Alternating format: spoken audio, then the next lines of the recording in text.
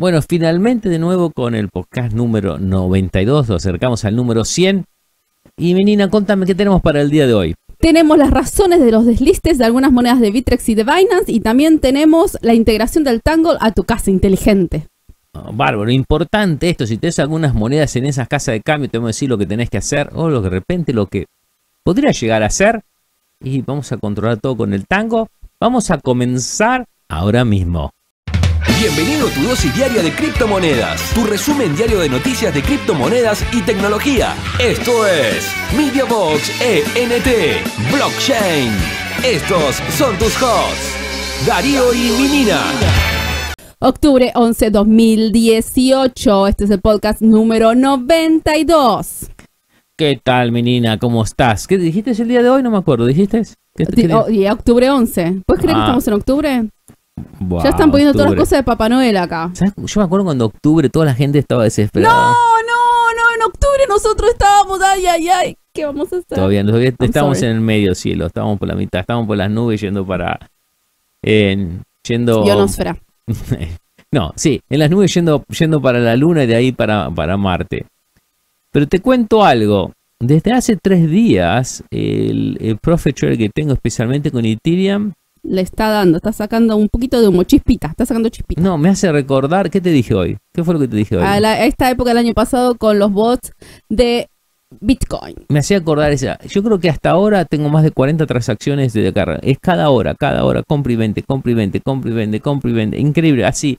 El, el Telegram mío es puras noticias y yo, wow, así uno atrás del otro. No sé qué fue lo que lo prendió, no sé qué fue lo que pasó, porque hace ocho meses que viene corriendo ese, ese robot tranquilo.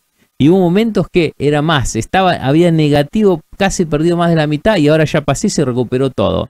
Inclusive me dio el Hay que gusto. tener paciencia. Y, y me di el gusto de quemar monedas que le tenían hacía 180 días con el 40% negativo. Y dije, ¿sabes qué? Ah, ahí dice así, ping, pf, vendé.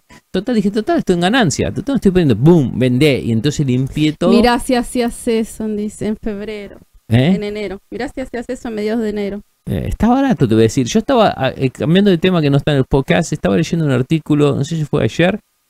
Hasta ahora, hasta que podría, está, ya me decía Darío, para, hasta 100 mil dólares podría llegar, dice un Ethereum. Oh, mal, sí, no está. Bueno, todas las teorías. Uno decía 100.000, otro decía, uno decía 1000, el otro 5000, el otro 3000, otros 10000, el otro 50000 y hay uno que llegó hasta 100.000. Eran dis- diferentes gente, o diferentes de universidad, diferentes, de diferentes campos de, la- de las criptomonedas, de, de las cadenas de bloque. Pero 200 dólares está barata. Está barata, qué sé yo, compras uno cada dos semanas, 100 por semana. eh, te- en este momento compras, te compras un Ethereum en, en dos semanitas. ¿Quién Ya, sabe? correcto. Yo creo que igual está barato 200 dólares, ¿eh? Está, está, porque había llegado bien alto. Pero hay que ver a dónde llega después. 1500. Y bueno, paciencia. Bueno, menina, empezamos. Contame. Te cuento que estamos en Apple Podca- Podcast, Android, Google Play, Stitcher, TuneIn, Evox, Discord también. Es Twitch, Spotify. Estamos por todos lados. Yes. Razones por las que deslistarán monedas en Bitrex y en Binance. Compromiso del equipo del proyecto. Calidad y nivel, nivel de actividad de desarrollo. Red estabilidad de contrato inteligente. Nivel de comunicación pública y actividad. La capacidad de respuesta a nuestra debida diligencia periódica. Evidencia de conducta no ética o fraudulenta. Contribución a un cripto ecosistema sano y sostenible. O sea, los que no cumplieron ninguna de estas Estás cosas. jodido porque sí, muchas de las monedas te ponen a pensar qué fueron los tipos que no cumplieron, qué fue lo que no hicieron bien. O no le están dando, están tirando puro humo. o- También lo que yo pienso es que muchas veces las monedas eh, empezaron con todas las ganas y fuerza y después se fueron a los caños porque no funcionó el proyecto. bueno, o porque no está realidad, bien organizado. en realidad ya se sabe, yo creo que hablan casi un, un 50 o 60% de las monedas que hoy tenemos muchos, que hoy tenemos muchos, tal vez desaparezcan en los próximos años. A mí hay que recordar el DACAM. ¿Qué pasó en el DACAM? ¿Qué había? DACAM hasta en los cafés había. ¿Y cuánto quedaron? Los contamos con las manos lo que quedamos. Yo diría que si tendría que yo eliminar, y yo diría que quedaría, no porque tengo esa moneda, pero los que son más que están trabajando. Vamos a ver cómo sea Bitcoin, Ethereum, vamos a ir Stellar. Stellar ya tiene un montón de compromiso. Vamos a ir a Iora. Podemos decir eh, que ya está trabajando con bancos. Podemos ir Ethereum Classic, ahí está atrás. Ponerle que aguante. Eh, no sé, otras más que se me ocurre, más de lo que son de estos tipos de proyectos. eh, plataformas, pero después un montón de las que son, qué sé yo, las que controlan el aire, las que hacen bueno para el otro, las que hacen bueno para que sea el internet más rápido, las que hacen bueno... Tal vez todo eso desaparezca y quede nada más que alguno, porque hay de todo, hasta hay una del agua, una de esto, una del otro, tenemos un montón. Yo creo que finalmente van a quedar una manera. Es bueno, y sí, tal vez es bueno, porque los que tengan eso último, que vamos a ser Bitcoin o Stellar o cualquier moneda, vamos cual fuera, ¿no? Que quede, ahí va a estar toda la plata sostenida. Entonces ahí sí van los trillones, porque toda la gente se concentra. Ahora está todo repartido, toda la plata está por todos lados. Entonces de repente un proyecto que puede valer un montón está tirado por el piso porque tanto yo como vos tengo un poquito en Stellar, un poquito en esto, un poquito en Zcash, en Dash, un poco en esto, qué sé yo, en cuanto más, en FMT, en PRQ, en ZY, la tenés en todos lados. Entonces está repartido en todos lados, entonces todas tienen un poquito. Entonces, eliminando, hacer un limpio, una limpieza de mercado. Eventualmente, cuando va a pasar? Bueno, viene pasando, porque si la medida empieza, si la empiezan a hacer del este, ok, podemos ir a otros sitios también. Ya. Bueno, miren, a ver, seguir contando. Bueno. Retiros de mercados pendientes para el 19 de octubre, o sea, de unos días, una semana, digamos. Las siguientes, um, las siguientes monedas son las que van a sacar para el 19 de octubre. Eso es en Bitrex. Estamos hablando de Bitrex, correcto. Sí. Aurora, Uy, yo me acuerdo de Aurora, sí, mirá, yo me acuerdo. dale. B larga IC, ByteCent, CreditBit, CRB. Oh, me acuerdo CRB. yes. Ay, no, Omni también. Yo también me acuerdo. ¿Te acordás de esos momentos? ¿Cuál más? Esas épocas. Wow. Ok, sigamos. Eso es Bitrex. Y en Binance es Spreadcoin, Bytecoin, Chatcoin, Economy, ¿te acordás? Y la moneda Triggers. Triggers, yo las eliminé esa. No, y ahora también con uh, Vergecoin. ¿O ya? También. Ah, yes, también la van a hacer de lista. Eso ahora pasa el primero de noviembre. No, pero para que tenés más. Eh, ¿No tenés eh, Bitcoin Gold también? Que la van a sacar de Bitrex. No la tengo acá, la tenía en otro artículo. Oh, sí. Pero en el otro artículo hablan de las billeteras. Es lo mismo. Ve, Pasa que ellos le llaman. eh, Pasa que en Bitrex. En Bitrex no le llaman delisting. En, en, en Binance le dicen delisting. Y en, Yo lo que tengo, mira, te digo lo que tengo con respecto a lo de la billetera. Decía que iba a reti- retirar BitShares, Yes. Bitcoin Gold Yes. y Bitcoin Private. yes. Y una C something. C cash, no C cash. C. No, no, No, había otra. Ok. ¿Qué pasa? Ellos le llaman que van a quitar la billetera. Si quitan la billetera, chao. No, no, Oh, BTCP. ¿Esa cuál es? Yeah. BTCP. Si no, esa es Bitcoin Private. Bitcoin Ahí, Private. te- ahí te estás diciendo que hagas algo que la saques. Si sacan la billetera es como diciendo dislisting. Sí, lo que tenés que hacer es, o, eh, tenés que inmediatamente hacer un ticket, en, un ticket en caso que no puedas sacar y las tenés que sacar cuanto antes. Sí, porque si no las Porque si no las, sí. Ahora- las- el problema es que si no tenés la cantidad suficiente con la que ellos te permitan hacer withdraw, porque viste que a veces hay un límite. Yeah. A mí me llegó el email, yo que algunas debo tener que comprar robo. Me parece que Bitcoin Gold. Me parece. Ujú. Alguna de esas tengo, tengo que ver. Importante es lo que están corriendo como Profechel a empezar a eliminar. En ese caso yo fui a los Profechel que tengo corriendo en, en Binance y las, y las bloqueé, las puse en la lista negro para que no se le ocurra ir a comprar, porque empiezan a caer los precios de repente, de repente compre eso. Las tengo eliminadas. Por suerte, en ninguna de esas monedas que hemos hablado yo las tenía que comprar. Sí, aparentemente tengo algunas porque me llegó un email y dice, usted aparentemente tiene algunas de estas, por favor sáquenlo más pronto. Ah, no, sí tengo, perdón. En Bitcoin. Oh, ok. En, en Bitcoin lo que puedo hacer, Depende. nada, un valor es tonto el valor. Lo que voy a hacer es agarrarlas y, y directamente me llevarlo al wallet mío privado y dejarlas ahí ver lo que futuro lo que pasa. Son las que yo miné. Valor creo que no son ni 50 dólares, no, no mata a nadie. Es decir, hay muchas monedas que tal vez ni vale la pena, si son 5, 10 dólares, que un- pero muchas se queman y chao. Ahora, la pregunta para vos es, ¿qué, vos, ¿qué vas a hacer con ese sentido? De repente tenés un montón de algunas de esas monedas que invertiste, que pensaste en el proyecto, que iba a crecer, que iba a adelantarse un montón. ¿Qué vas a hacer? ¿Vas a moverla a otra casa? Ah, porque hay un montón de casas de cambio que podemos llevar que tienen eh, un montón de estas monedas, eh, otras casas de cambio descentralizadas que podés llevar. No tienen tanto volumen, no tienen tanto movimiento. Algunas de estas casas de cambio son medias sospechosas. Siempre bueno, te- pero sabes que hay alguna sospechosa que tiene un mínimo volumen y, no, y te hacen ganar sabemos que hay 30 mil mucha- en un día. Bueno, pero hay muchas casas de cambio. Sí, yo sé. Entonces, ¿qué vos harías? Déjame un mensaje, déjame, en- tanto sea en el podcast, en el chat del podcast o tanto sea en el video. ¿Qué pensás hacer, digamos, si tenés Bitcoin? ¿La vas a vender? ¿Las reventás? O podés reventar, también pasa eso. Pasa que seguro que a medida que pasan los días, los precios empiezan a caer lo loco porque la gente se la quiere sacar encima. ¿La reventás?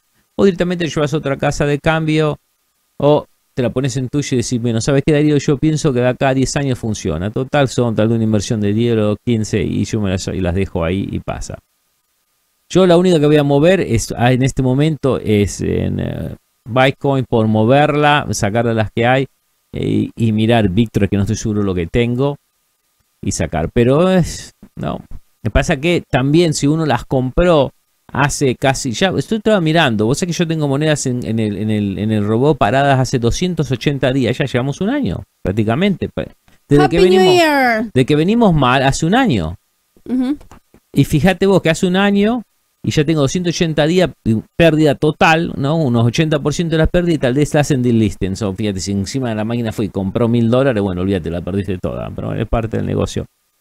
Pero por el otro lado tengo al robotito el otro trabajando. Bueno, Menina, a ver, contame entonces. Bueno, te puedo contar la integración de la casa inteligente con el tango.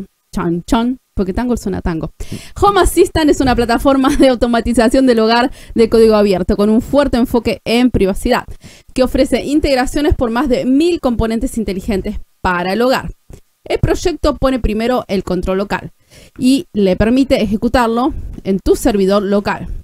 Ayora es un libro de contabilidad distribuido de código abierto, creado para impulsar el futuro de Internet de las cosas con microtransacciones también puedes ejecutarlo en tu propio servidor con miles de personas que como que lo están haciendo también. Sí, aparte que no tiene, no tiene, no tiene fin las transacciones. Sí. Yes. La integración de estas dos tecnologías permitirán de inmediato muchas más aplicaciones. Por ejemplo, están las rutas de auditoría del Tango. Ayora es excelente para garantizar la integridad de los datos. Acá es donde viene el siguiente caso de uso, que es las pistas de auditoría. Estos cambios de estado podrían ser simples, como detectores de movimiento, que activan una alerta, o escenarios más complejos, como los sensores de temperatura que publican sus valores de manera regular para garantizar que la cadena de enfriamiento de un proveedor de alimentos no se rompa. Ah, interesante, ¿eh? Sí. Otro ejemplo es el oyente MAM. Eso no entendí mucho, pero dice una cosa así. Este componente integra los mensajes recibidos a través del módulo de mensajería autenticada enmascarada. Eso es el MAM de IOLA. En una plataforma de Home Assistant. El componente de automatización del Home Assistant ofrece una amplia gama de configuraciones posibles, por lo que el oyente MAM se puede utilizar en varios escenarios diferentes. La idea básica es que alguien activará una acción adjuntando un paquete al Tango como cuando el Home Assistant, Assistant advierte tal acción de activarlo en el evento. Como por ejemplo quedaría en la computadora escrito así con todas las rayitas y los puntitos con el fondo negro. Ayora rayita mam.action.triggered. Ok, bueno, Como la orden que le das al robot. Parecido, sí, o parecido como haciendo, si pasa esto, pasa el otro, que estaba trabajando. Exacto. Estamos trabajando justamente volviéndome loco trabajando y activa algunas cosas. Si alguien hace tal cosa en YouTube, va a pasar esta cosa que lo estamos aplicando, lo estamos empezando a aplicar en el sistema de, Google Home, de los plus que tenemos Smart, prender luces cuando alguien hace donación. Estamos haciendo eso. Ahora, si alguien dona, manda un tweet. Son eso, contame. Es parecido a una cosa así. Este evento tiene un identificador único, como un abrir la puerta. También puede contener algunos datos adicionales como qué puerta debe abrir exactamente. O sea, si pasa esto, ¿qué es exactamente lo que va a pasar? Este componente, componente, eh, este componente. para el caso de uso de registro de auditoría y mercado de datos. Se basa en el componente de notificación de Home Assistant, que en criollo sería asistente en la casa y, por, lo tanto se puede usar para publicar cualquier mensaje en el flujo de MAM, M-A-M en Tangle. Por ahora no te pasa la aspiradora, pero bueno. Puede usarse para datos que pueden ser públicamente legibles, privados o restringidos. Cualquier persona que conozca la raíz del mensaje puede descifrar los mensajes privados. La dirección es solo el hash de la raíz. Los mensajes registrados también necesitan una clave adicional, que es la clave del cifrado. Es más o menos lo que usamos ahora el, Home Assistant de Google, pero más avanzado con a través che, del Google, mensaje. prendeme la luz. Y no te da bola. No, veo que te escucha este loco. Sí. No, viste que eh, estamos más o menos levantando la casa. Hasta ahora tenemos, controlamos el láser, controlamos la bola de disco, la luz. ¿Qué más controlamos? Las luces bajo de los sofás, el velador de la sala, las luces de la, del comedor de diferentes colores. Ahora queremos controlar las La luces de acá. Ah, vos querés que controle la pava y vamos a controlar las luces del estudio. Vamos a decir, ok, ¿qué vamos a decir? Google, ¿en vivo? ¿Qué vamos a decir? Vamos en vivo. vamos en vivo, vamos a grabar. entonces, Guarda que lo vas a decir, va a ser en vivo y no sabías, Reno Murru. No, porque no lo voy a poner, no lo voy a poner acá, pero lo que voy a poner las luces. Así que poquito a poquito vamos agregando, vamos agregando Poquito smart, poquito. vamos agregando smart switch. Digo que el monitor que tengo acá mata ahora. ¿eh? Hemos agregado. ¿A quién mató? Nada, mata no me van a decir. Agregué un monitor acá al frente. Así que si usted me ve mirando así para el costadito, a veces porque yo antes no tenía el mismo monitor que yo grabo, que uso el control de panel, ese es el que.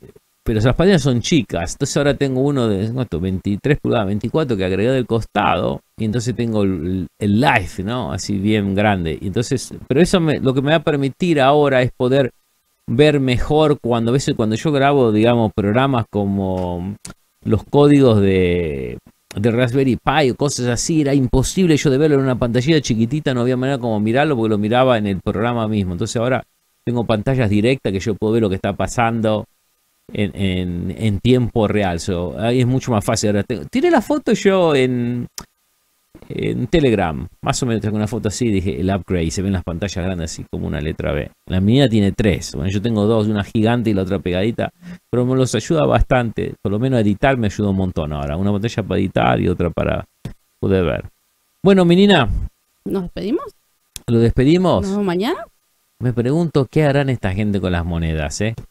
¿Qué piensan eso? Que estaban, estoy diciendo, algún loco estaba diciendo por ahí, no me acuerdo cómo se llama el nombre, esta persona que estaba diciendo en 100k en Paritirium. Pero las monedas están que se caen en rojo, vienen todas que se Sí, vienen pero más. ¿Cuánto dijiste? 100.000, una causa ya es una papada, me parece. Bueno, mira, que llegue a 1000, lo compraste 200 y llegue a 1000, Estamos bien. estamos bien. ¿Cuántas veces le sacaste? Un montón. Menina, el sábado estamos de nuevo, ¿no? Yes, correcto. El sábado los vemos. Dale. Chao. Bye.